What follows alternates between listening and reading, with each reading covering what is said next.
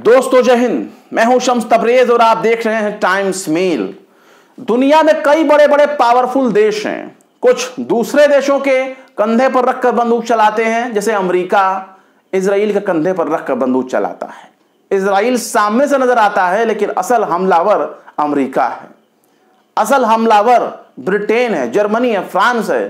ये तमाम के तमाम ये वो पश्चिमी देश हैं, जो एक ही पेट से भोजन करते हैं, एक ही मुँह से खाना खाते हैं, और सबका पेट आपस में सटा हुआ है, और सब के सब आपस में भाई भाई हैं। इन लोगों ने अपना एक मिलिट्री बेस बना रखा है, जिसका नाम है इसराइल और वहीं से इनकी सारी जरूरतें पूरी होती रहती हैं। लेकिन एक देश ऐसा भी है, जो इनकी दाल गलने नहीं दे रहा है। वो कह रहा है कि जैसे भी आओगे, कैसे भी आओगे, किसी तरह से भी आओगे, यहाँ से पिट कर जाओगे। और यमन का अंसरुल्ला यमनी आर्म्ड फोर्स या फिर हूती कहें। ये इतने पावरफुल और इतने खतरनाक हो चुके हैं कि अमेरिका, ब्रिटेन, फ्रांस, जर्मनी और यूरोप के दूसरे देश जिनका ताल्लुक इसराइल के साथ है, अगर वो यमन के समंदरी इलाके में, लाल सागर में, अरब सागर में, हिंद महासागर में कहीं से भी गुजरने की कोशिश करते हैं तो उनको मंजिल पर पहुँचने से पहले ही यमन की हूती उसे पानी में ही आग के शोले में तब्दील कर देते हैं। जिसे कहा जाता है ना कहावत, आग लगा दी पानी में। तो यमन का हूती वो ताकत रखता है जिसके आगे पानी में आग लग जाती है। जो चाह जाए तो समंदर में आग लग जाती है। बड़े बड़े देशों के ऑयल टैंकर बड़े बड़े देशों का कारोबारी जहाज़, यहाँ तक कि वॉरशिप भी यमन के हूतियों के हमले से बच नहीं पा रही है। अब तो यह हालत हो गई है कि यमन के हूतियों ने इसराइल के भीतर हाइपरसोनिक मिसाइल दागना शुरू कर दिया है और जो ताज़ा उसने हमला किया है, उस हमले से इसराइल का एयरबेस, मिलिट्री एयरबेस सेफ़ नहीं बचा है। उस पर भी यमन के हूतियों ने मिसाइल दागा अब सोचिए कि 2000 किलोमीटर दूर से यमन के हूती तेल अवीब में हमला करते हैं। नेतन्याहू के प्लेन पर हमला कर देते हैं। इस तरह की घटनाओं को वो अंजाम दे रहे हैं, लेकिन नेवातिम के एयरबेस पर हमला करके यमन के हूतियों ने अपनी ताकत को फिर से आजमाया है। दरअसल ये देखने की कोशिश करते हैं कि इसराइल की एयर डिफेंस फोर्स कितना काम कर पा रही है। अब सोचिए कि जो थर्ड एयर डिफेंस सिस्टम है, उसको खड़ा ही इसीलिए किया गया ताकि दुश्मन अगर हाइपरसोनिक बैलिस्टिक मिसाइल से अटैक करे या हाइपरसोनिक हवा की गति से ताज़ा तेज या हाइपरसोनिक हवा की गति से भी फास्ट तेज हमला करते हैं। इनकी रफ्तार हवा से भी कई गुना ज़्यादा होती है। और इसी हाइपरसोनिक मिसाइल को रोकने के लिए ही अमेरिका ने अपना सबसे काबिल मज़बूत एयर डिफेंस सिस्टम दिया है जो सेटेलाइट से चलता है बाकायदा। उसका नाम है थाड। फिर बीच में यह सुनने में आई कि साहब वो जो आस, आसमान में जो सेटेलाइट लगा था ना वो सेटेलाइट कहीं गुम हो गया है। हालाँकि इस बात को मीडिया कहीं एक्सेप्ट नहीं करती है, लेकिन ये कानों कानी उड़ने वाली बात है। इसी से अंदाज़ा लगाया जा सकता है। धुआँ वहीं से उठता है जहाँ आग लगी होती है, और आग तो इसराइल के भीतर पहले से ही लगी हुई है। सेटेलाइट से चलने वाला खतरनाक, सबसे खतरनाक में खतरनाक जो एयर डिफेंस सिस्टम था थार्ड वो बिल्कुल नाकाम नज़र आ रहा है। कहीं भी वो कारगर नज़र नहीं आ रहा है, यानी कि दुश्मनों ने इसराइल के दुश्मनों ने, अमेरिका के दुश्मनों ने, हूती हिजबुल्ला और हमास ने अमेरिका के दिए गए हथियार का तोड़ निकाल लिया है।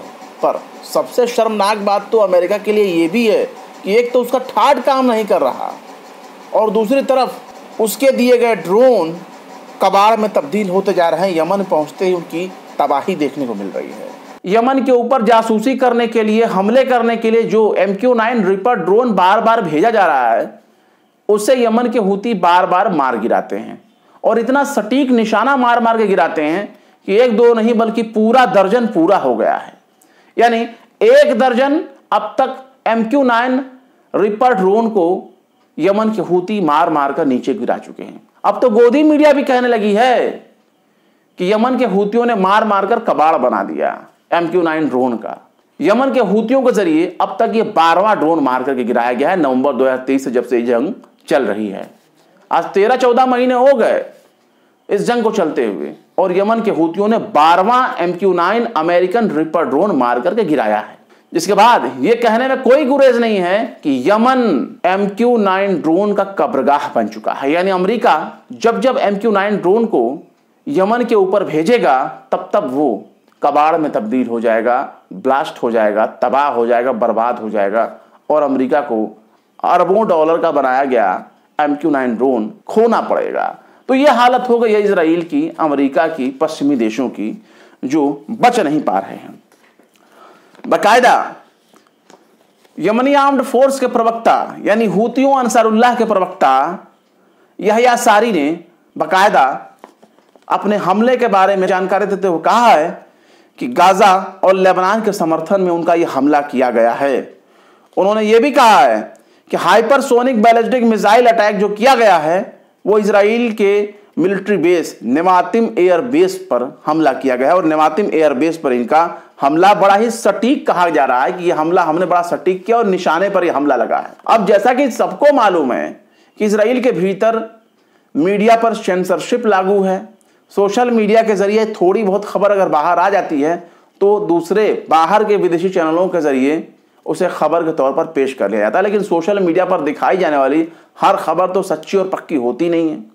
इसलिए हमें भी अगर इंटरनेशनल खबरों को उठाना होता है मिडल ईस्ट से जुड़ी खबरें लेनी होती है तो हम कोशिश ये करते हैं कि जो देश दावा कर रहा है, चाहे मिसाइल रोकने का दावा करने वाला इसराइल हो, चाहे मिसाइल अटैक करने वाला, हुती हो हिजबुल्ला हो, हमास हो इनके दावे को भी आधिकारिक तौर पर पुष्टि करना ज़रूरी होता है और इन्हीं देशों के ज़रिए जो मीडिया होती है, इन्हीं देशों की जो मीडिया होती है, उनके स्थानीय समाचार पत्रों में, अखबारों में, न्यूज़ चैनलों में, पोर्टल से उन खबरों को कंफर्म करा जाता है कि हाँ इनके ज़रिए हमला किया गया है कि नहीं, या दुश्मन के हमले को इसराइल रोकने में कामयाब हुआ है कि नहीं, वो कुछ बोलता है कि नहीं।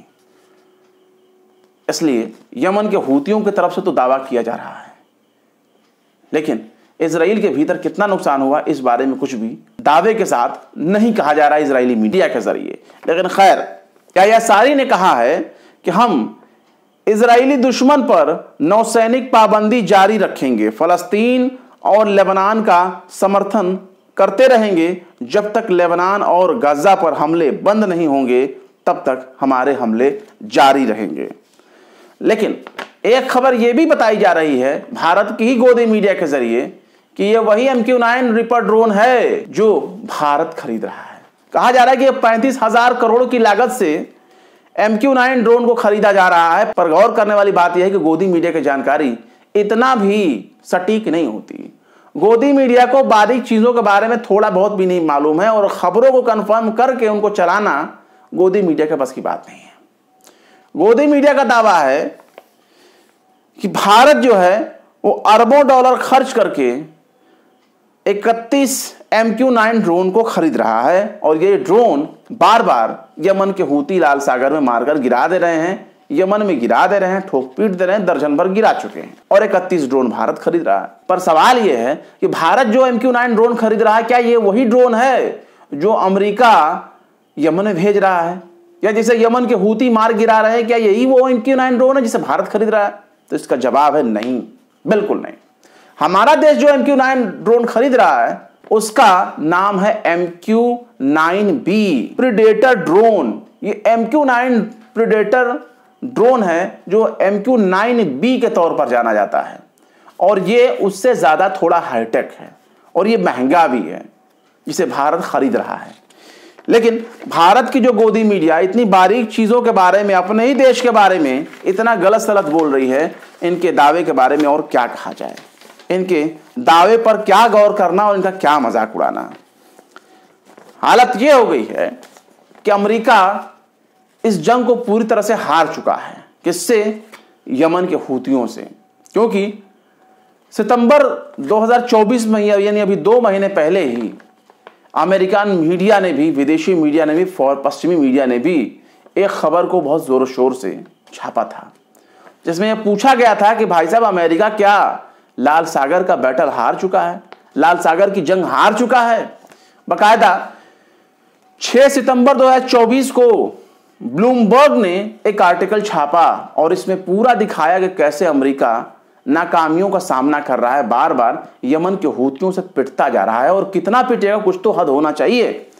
इसमें यह भी कहा गया कि भाई साहब, यमन के हूती अमेरिका के लिए समंदर में एक चुनौती बन चुके हैं।